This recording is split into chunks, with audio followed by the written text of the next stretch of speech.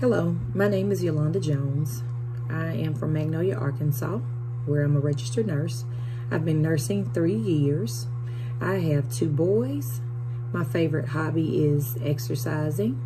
My favorite food is pizza. I'm from Magnolia, which is a small rural area.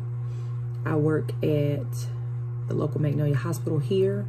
Um, social disparity is to, during COVID-19. We lost a lot of our workers. They took on travel assignments, which put a strain on the hospital itself. Um, we got a lot of travel nurses that came into the area.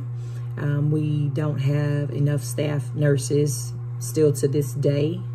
Um, we lost our labor and delivery unit, which also created um, some type of strain on the facility because all of our patients that are having babies have to be sent to other facilities, the Camden, the El Dorado, Texarkana, or wherever their preference are. Um, we lo also lost one of our GI surgeons, which also, um, I think it hit financial to the hospital because a lot of those patients have to be sent out as well. So we are considered like low income when it comes to having the most up-to-date um, equipment.